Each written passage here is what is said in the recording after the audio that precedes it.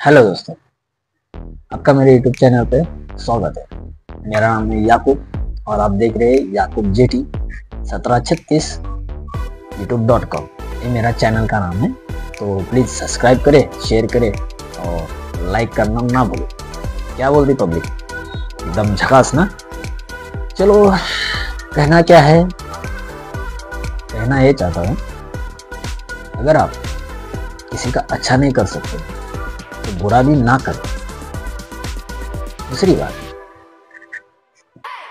दूसरे में कमियाँ ढूँढने से अच्छा है, उसकी अच्छाई ढूंढे। हो सकता है आप उसकी कमियाँ ढूंढ के छोटी सी उसकी गलती को आप बड़ा समझ सकते हैं। लेकिन आप अगर उसके अंदर अच्छाई का छोटा सा भी देखेंगे ना तो सोच लो, उसकी कमियाँ भूल जाएँगे। और आपका रिश्ता भी मज़बूत रहेगा। क्या बोल रहे कैसे लगी बात?